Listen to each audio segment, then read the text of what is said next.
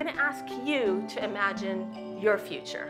So imagine yourself five years from now, 10 years from now, 15 years from now.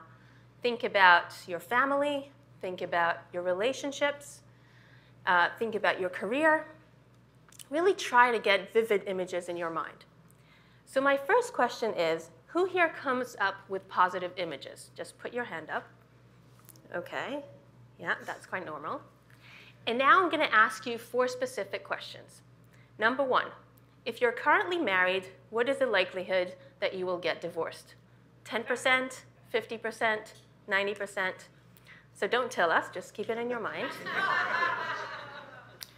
Number two, how optimistic are you about your family? Slightly optimistic, very optimistic, not so optimistic. Number three, how optimistic are you about the other people and other families in this room? And number four, what is the chances that you will prosper financially and professionally? And now let's see how other people answer these questions. We'll start with marriage. So in the Western world, divorce rates are about 40%. That means that out of every five couples walking down the aisle, two will end up splitting their assets. So, but when you ask newlyweds about their own likelihood of divorce, they estimate it at around 0%. and even divorce lawyers who should really know better hugely underestimate their own likelihood of divorce. Now, turns out that optimists are not less likely to divorce, but they are more likely to remarry. In the words of Samuel Johnson, remarriage is a triumph of hope over experience. Now, statistically, if you're married, you're more likely to have kids, and we all think that our kids will be especially talented. These, by the way, are my own kids, Livia and Leo, and they're a very bad example of the optimism bias because they are especially talented. and I'm not alone. Out of every four people, three said that they were optimistic about the future of their own families. That's 75%. But only 30% said that they thought that the next generation will be doing better than the current one. And that's a really important point because we're optimistic about ourselves, we're optimistic about our families, we're optimistic about our kids, but we're not so optimistic about the guy sitting next to us. And we're somewhat pessimistic about the future of our country and the ability of our leaders.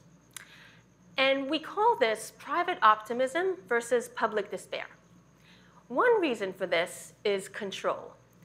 We feel we have control over our own destiny. We feel we can steer the wheel in the right direction, and so we're optimistic about our own future. But we don't feel we have control over where our country is going or where our leaders are taking us, and so we're less optimistic about those issues.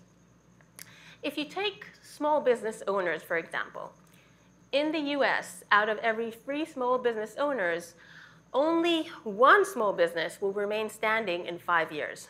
So that's 33%. But when you ask small business owners about their own likelihood of remaining standing, 80% say that it will be them that will succeed. That means that half of them are going to be unpleasantly surprised when they fail. so these are all examples of what we call the optimism bias which is our tendency to imagine the future to be better than the past or present, and on average, to overestimate our likelihood of experiencing positive events in our lives and underestimate the likelihood of experiencing negative events. This does not mean that with every aspect of our life we're optimistic. It doesn't mean that everyone is optimistic, but on average, we find this in about 80% of the population. And we find it in females, we find it in males, we find it in different countries around the world, in Western countries, in non-Western countries. So it's quite a global phenomenon. Usually when uh, people hear about this, the first question that they ask is, well, is this a good thing or is it a bad thing? And the answer is yes. So on the positive side, if we have, we're optimistic, we have positive expectations of the future. That reduces stress and anxiety, which is good for our physical health, and it's also good for our mental health. what we find is that the 20% that don't have the optimism bias, about half of them tend to have depression, where people with mild depression actually do not have a bias. That doesn't mean that they're more accurate in predicting the future. It just means that sometimes they err on the side of optimism and sometimes they err on the side of pessimism, so they don't have a systematic bias. The other 10% tend to not have an optimism bias but are not depressed. And the other advantage of optimism is that if we have positive expectation, it enhances motivation right? If I think my company is going to succeed, then I try harder, and it becomes a self-fulfilling prophecy. If I think, well, it's not going to work out, I'm not going to get that promotion, well, I don't try, and I'm more likely to fail. So those are the positive aspects. But there are also negative aspects, because if we underestimate our risks, we might not take precautionary action. We might not wear a helmet when we bike. We might not buy insurance when it's a good idea um, we might not go to medical screenings. But I think that over evolution, humans have evolved to be optimistic because on average, the positive outweighs the negative. And if you think back to our ancestors, to get out of the cave and hunt, they have to imagine that there's something out there for them to find and their ability to come back, right? To leave um, Africa and explore the rest of the world they had to imagine that there's something that they would find. And they had to imagine that that is something that may be better than what they already had. And people are not always aware of um, how their brain works or the fact that they have an optimism bias. A lot of times people will come into my lab and say, no, no, I'm a realist, I'm a pessimist. This is especially true in the UK. But then when you test their expectations and look at the outcome, you find the optimism bias. But becoming aware of this can really help us for example, to be more effective in communicating because we understand how other people's brains work, to restore our motivation when needed by, for example, creating anticipatory events, and uh, by protecting ourselves from the negative consequences of over-optimism. To protect ourselves, we can't make the bias go away. The illusion will not just go away by knowing about it. And to really kind of get that message across, I'm going to um, end with this example, which is an example from uh, vision illusions. So if you look at this, what do you see? It looks like an upside down photo of a smiling girl, right? Okay, let's test this.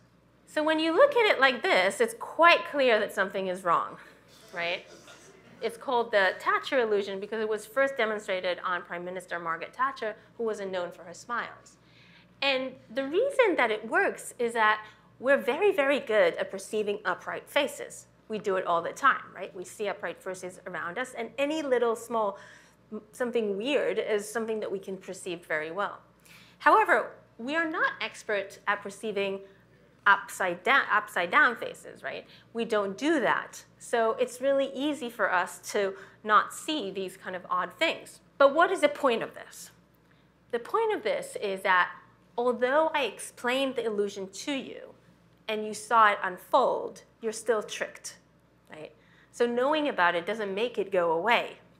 And it's no different for these cognitive biases, optimism bias. I showed you the data, you probably believe it. It doesn't mean that it's going to make it go away. But what we can do is plan ahead knowing that we have it.